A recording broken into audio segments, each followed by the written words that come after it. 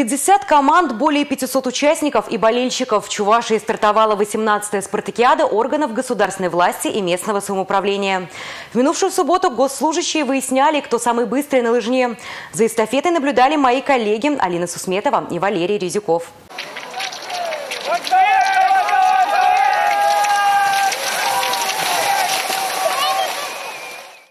К лыжной эстафете многие команды начали готовиться, как только выпал снег. А в последние месяцы перед стартом тренировки проходили ежедневно.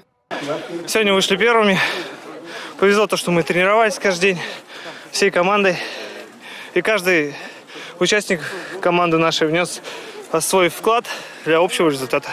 Неплохой результат показала и команда Минприроды Чувашии. Сергей Рудиков стал лучшим в мужском забеге и принес своей команде долгожданные баллы. Самое трудное преодолеть это самого себя. А потом уже можно оглядываться назад и смотреть, догоняют тебя или нет. Я думаю, в первую пятерку войти нам по силам. Самая напряженная борьба развернулась среди команд органов местного самоуправления. Лидеры прошлого года – Чебоксарский район и в этот раз показали самый лучший результат. Эта спартакиада органов власти, она для нас всегда была желанной мероприятием, потому что в Чебоксарском районе много спортсменов, можно сказать так, как желающих заниматься спортом много по всем направлениям, по всем видам могут показать результаты, потому что в районе много возможностей создано, они давно.